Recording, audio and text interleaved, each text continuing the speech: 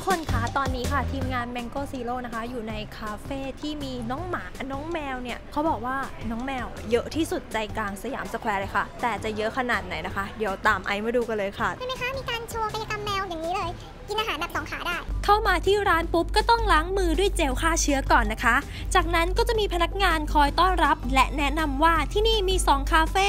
นั่นก็คือคาเฟ่น้องหมาและคาเฟ่น้องแมวค่ะ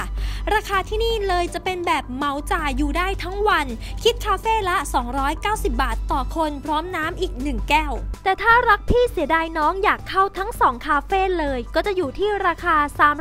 390 บาทต่อคนเช่นกันค่ะไหนๆก็มาแล้วงั้นขอฟินทั้ง 2 คาเฟ่เลยละกัน ก็จะได้ wristband มาใส่แบบนี้ เพื่อให้พนักงานรู้ว่าเราใช้บริการคาเฟ่ไหนบ้างนั่นเอง พอซื้อเสร็จปุ๊บก็เข้าไปเปลี่ยนรองเท้ากันก่อนนะคะ แล้วก็ล้างมือด้วยโฟมอีกรอบค่ะ เอาล่ะ พร้อมแล้วไปหาน้องแมวและน้องหมากันเลยดีกว่าค่ะที่นี่จะแบ่งเป็นคาเฟ่น้องหมาอยู่ชั้น 2 ส่วนน้องแมวจะอยู่ชั้น 3 ค่ะ พอขึ้นมาที่ชั้น 2 ปุ๊บ ก็จะเจอน้องหมานอนแอ่งแมงกันอยู่แบบนี้ และในคาเฟ่น้องหมานี้ก็จะมีโซนของแลคคูนและก็เมียแคทให้เข้าไปเล่นกับเขาได้เลย แต่ว่าจะมีพนักงานเนี่ยเขาคอยแนะนำแล้วก็ดูแลอยู่ข้างๆ รวมถึงเจ้าเฟอร์เลสด้วยนะคะ นี่ๆออกมาทักทายกันหน่อยจิ และยังมีโซนหนูแกสปี้ด้วยนะ แนะแอบหลบกันอยู่ในนี้กันใช่ไหม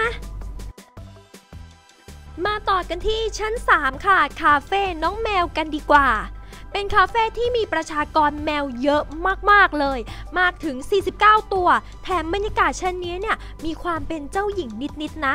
ส่วนน้องแมวก็ดู friendly มากๆเลยค่ะ อุ้มถ่ายรูปได้ด้วย แต่ว่าจะมีพนักงานคอยแนะนำอยู่ข้าง